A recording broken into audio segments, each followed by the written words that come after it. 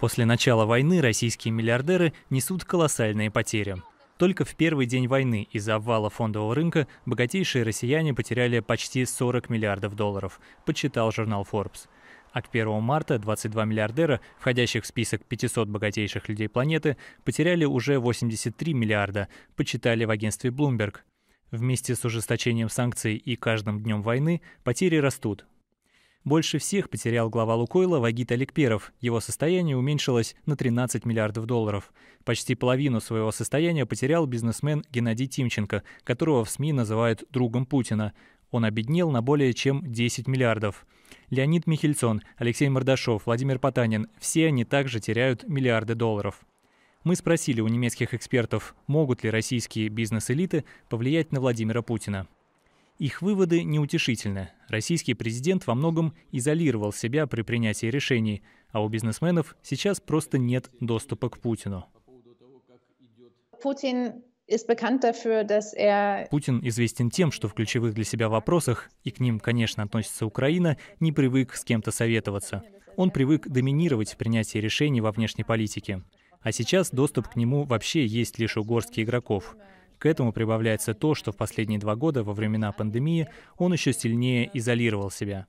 Дело в том, что к нему почти нет доступа, а информационные потоки, которые к нему поступают, поломаны. Так что решение о вторжении в Украину он принимал один, без учета иных мнений и анализа.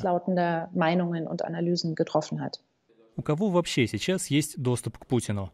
По мнению экспертов, речь идет о небольшой группе приближенных из Совета Безопасности – Однако они не способны не только повлиять на российского президента, но и даже проинформировать его о реальном положении вещей, убеждены немецкие эксперты. Это небольшая группа людей, возможно, даже меньше пяти человек. К ним относятся представители Совбеза, прежде всего люди из спецслужб. Например, секретарь Совбеза Патрушев. Но они не будут перечить Путину. В этом большая проблема.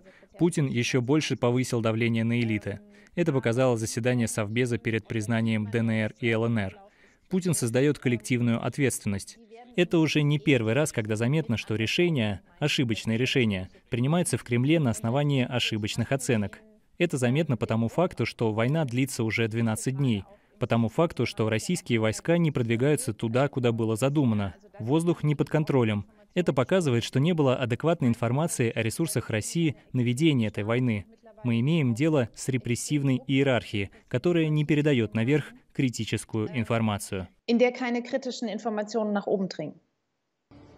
Немецкие политологи не исключают, поскольку у бизнес-элит, вероятно, нет возможности повлиять на президента, они могут попытаться повлиять на ситуацию через массовые протесты, фактически начать тайный бунт против Путина –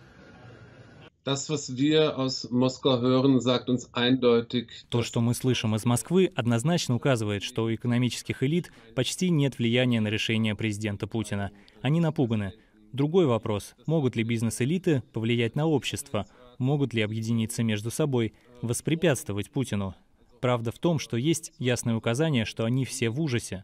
Вопрос в том, могут ли они организовать движение против войны не через влияние на президента, а без президента – против президента. Все понимают, что Россия толкает Украину в пропасть и что они упадут вслед за Украиной.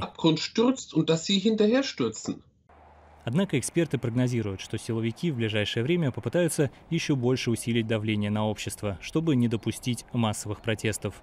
Также они не исключают арестов некоторых бизнесменов.